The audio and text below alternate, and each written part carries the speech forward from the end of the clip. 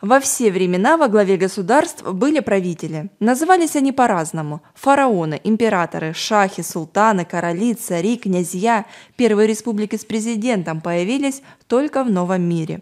Молодые и энергичные колонизаторы стремились избавиться от пережитков монархического строя. По этой причине должность главы государства стала выборной, непожизненной и ограниченной конституцией.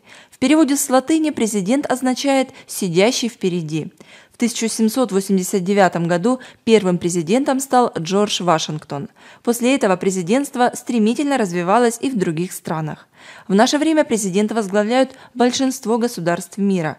В их функции входят представительство страны во внутренних и внешних отношениях, обеспечение государственного суверенитета и национальной безопасности, командование вооруженными силами и другие.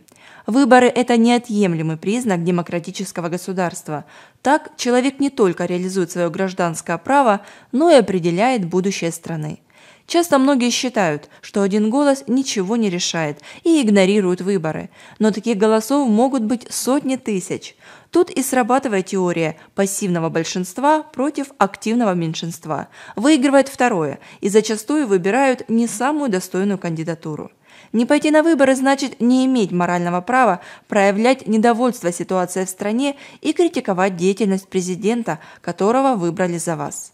Каждый сознательный гражданин своей страны осознает важность выборов, потому что от них зависит будущее, и даже один голос может стать решающим для того, чтобы государство развивалось и двигалось вперед или оставалось на месте.